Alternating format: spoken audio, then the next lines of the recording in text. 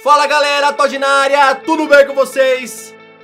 Tá começando mais uma edição do Todd News pra você ficar por dentro do melhor do futebol aqui no Brasil e também ao redor do mundo, beleza? Bora abranger aqui os últimos assuntos. Tem jogador da seleção brasileira que tá fora da final da Copa América. Ontem o Peru surpreendeu e ganhou bonito do Chile. Tem novidade do Neymar. Vou falar bastante coisa interessante. Mas obviamente, antes eu vou pedir aquela moralzinha sua, né? Aquela ajuda tua para deixar aquele like monstruoso, se inscrever no canal, ativar o sininho e também aproveitar e me seguir lá no Instagram. Agora, sem mais enrolações, solta a intro!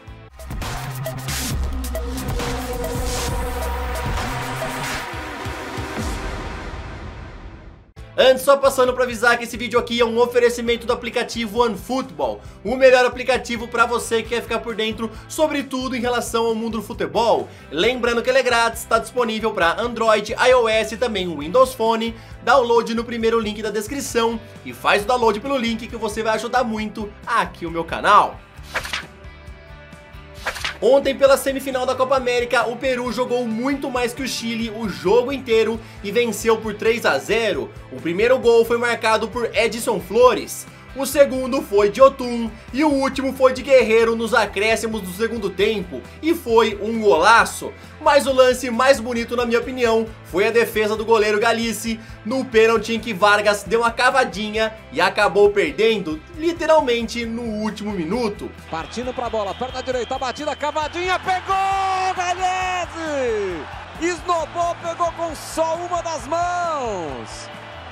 Assim, o Peru agora pega o Brasil no domingo no Maracanã, na final da Copa América, e o goleiro Galese foi eleito o melhor jogador em campo. Peru e Brasil vão se encontrar novamente na Copa América. No primeiro jogo foi 5 a 0 pro Brasil e ainda teve aquele pênalti perdido pelo Gabriel Jesus. Mas temos que concordar aqui que o Peru tá jogando muito mais bola do que naquele jogo, surpreendeu muito no jogo do Chile ontem e eu acho que vai dar um pouco de dificuldade pro Brasil sim. Mas eu continuo confiando na nossa seleção e eu acho que vamos ser campeões sim. O que, que vocês acham aí? Qual que vai ser o placar? Você arrisca algum número? Eu vou chutar 3 a 1 pro Brasil. Anota aí nos comentários, eu quero ver quem que vai acertar, hein? O Fluminense ainda passa por problemas de salários atrasados com os jogadores e ainda não os pagou, mas agora quitou uma parte da dívida com o atacante Pedro, porque estava com medo que o jogador fosse à justiça e conseguisse uma liberação para trocar de clube. Mas obviamente isso não caiu bem com os outros jogadores que não gostaram e cogitam fazer uma reunião com o departamento de futebol para a situação ser esclarecida. De acordo com a Fox Sports, Flamengo e Dinamo de Moscou apresentaram a mesma proposta a Roma pelo meia Gerson, e agora cabe ao jogador decidir aonde quer jogar. Ele mesmo já comentou que na Rússia não gostaria de atuar, então até amanhã o negócio pode ser definido e o Flamengo pode anunciá-lo. O Flamengo não quer somente contratar e briga também para manter os seus jogadores. Coedja recebeu uma proposta do Galatasaray de 6 milhões de euros e ela já foi rejeitada pela diretoria rubro-negra. Mas alguns outros clubes da Europa, como o West Ham, ainda estão de olho e o Flamengo terá dificuldade em manter o colombiano. O Atlético Paranaense está próximo de anunciar o zagueiro Wallace como reforço. Ele está desde o ano passado no Gostep da Turquia e gostaria de um retorno ao Brasil e inclusive está acompanhando os jogos do Furacão Sub-20 nos estádios. Raniel pode ser anunciado ainda hoje pelo São Paulo. Segundo a Fox Sports, Cruzeiro e o Tricolor Paulista já trocaram documentos para o anúncio ser feito o quanto antes. A Raposa irá receber 3 milhões de euros por 50% dos direitos econômicos do jogador. A seleção já está na Granja Comari, se preparando para a final de domingo lá no Maracanã contra o Peru, mas também já tem uma baixa, rapaziada. O atacante William está fora da final. O jogador sentiu uma fisgada na coxa esquerda no fim do jogo contra a Argentina e após exames feitos, os médicos da seleção afirmaram que não há tempo hábil do atacante se recuperar. Então, está confirmado, ele está fora da final. O presidente da UEFA, Alexander Seferin, em entrevista ao jornal The Times, disse que tem a ideia de proteger os clubes que chegam na semifinal da Liga dos Campeões, pois ele acha injusto um time que foi tão longe, às vezes ficar fora da próxima edição por não ter ido bem no campeonato nacional, e também falou que tem a ideia de fazer a Supercopa das Seleções, vencedor da Copa América contra vencedor da Eurocopa.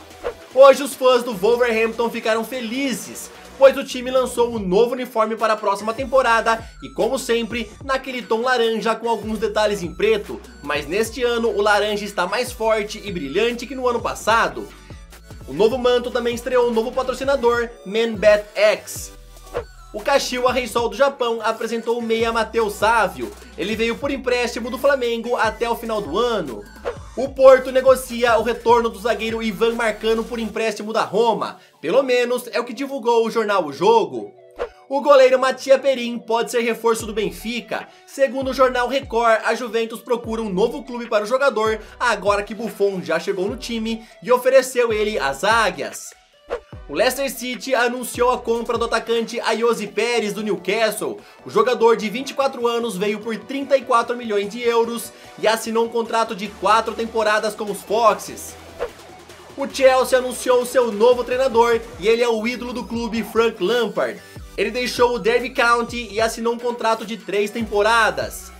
O Manchester City ontem pagou a multa rescisória de Rodri e hoje anunciou o meia oficialmente para a torcida. Ele custou 70 milhões de euros e assinou um contrato de 5 temporadas. No clube, ele usará o antigo número de Cunagüero, o número 16. O Arsenal realmente quer contratar Wilfred Zaha e agora dobrou a proposta inicialmente feita, que era de 45 milhões de euros e agora foi para 90 milhões de euros. De acordo com a Sky Sports, esse valor é o que o Crystal Palace estava pretendendo e deve aceitar a venda do atacante. Gianluigi Buffon está de volta na velha senhora e já passou pelos exames médicos agora de manhã no clube e também assinou um contrato, lembrando que ele atuará uma temporada como reserva de Chesney e depois se aposentará e pegará um cargo na diretoria. A apresentação oficial do jogador deve acontecer agora de tarde. Após ter tudo certo com o Mets Elite, a Juventus agora acerta os últimos detalhes com o Ajax e apresentou uma proposta de 55 milhões de euros e mais 10 milhões por objetivos alcançados. Segundo a Sky Italia, o clube pode anunciar The Elite na segunda-feira. Confesso, sinceramente, que essa proposta tá baixíssima pelo Delete, hein? O cara tá jogando muito, destruiu na última temporada, foi o último jogador a ser eleito Golden Boy, eu acho que o Barcelona Bayern de Munique pode superar facilmente essa proposta, tá muito barato. Lembrando que o Ajax falava que queria vender ele por 80 milhões de euros, hein? E a Juventus está oferecendo 55 e mais 10 por objetivos alcançados. Na minha opinião, tá barato. E olha, eu não duvido nada aparecer uma reviravolta, hein? Apesar de que o jogador já tem um acordo com a Juventus. Eu acho que o Ajax devia subir um pouquinho mais a pedida, porque na minha opinião, tá barato. A Juventus tenta fechar com mais dois reforços, e o primeiro é Nicolo Zaniolo da Roma. De acordo com o Corriere dello Sport, o clube vai oferecer Gonzalo Higuaín por empréstimo, já que é desejo da Roma, e também um valor em dinheiro. E depois a Juventus se prepara para trazer Mauro Icardi. Segundo o Calcio Mercato, o clube já prepara uma proposta para apresentar a Inter e também um salário de 8 milhões de euros por temporada ao argentino. Após o Atlético de Madrid anunciar três reforços ontem, o clube colchoneiro agora tenta a chegada de Daniel Alves. Segundo o jornal Esporte, um contrato de dois anos já está à espera do lateral direito após o final da Copa América. O jornal Esporte estampou em sua capa que Messi e Neymar se encontraram após o jogo da Copa América e conversaram sobre o seu retorno ao Camp Nou. A publicação também afirma que o Barcelona pediu para que o brasileiro se reapresente normalmente no Paris Saint-Germain para evitar conflitos na negociação. E Neymar nem chegou no Barcelona e já tá causando mal-estar no clube. Hoje o vice-presidente Jorge Mestre pediu demissão. E o motivo, de acordo com a imprensa espanhola, seria a sua oposição ao retorno de Neymar, já que ele afirma que o jogador não respeitou o clube ao sair daquela maneira e não merecia retornar, e está questionando agora os princípios e também as ações do presidente catalão. Bom, galera, essa aqui foi mais uma edição do Dodge News. Eu espero que vocês tenham gostado. Não esqueçam de deixar nos comentários as suas opiniões sobre tudo que eu falei aqui hoje, beleza? O que, que você acha aí do valor que a Juventus está oferecendo ao Ajax pelo Delete? Eu, sinceramente, acho muito barato. Quero saber também, na tua opinião, quanto que vai ser o jogo da final da Copa América que vai acontecer no domingão contra o Peru, lá no Maracanã, hein? Tamo junto, família Todd. Valeu, falou!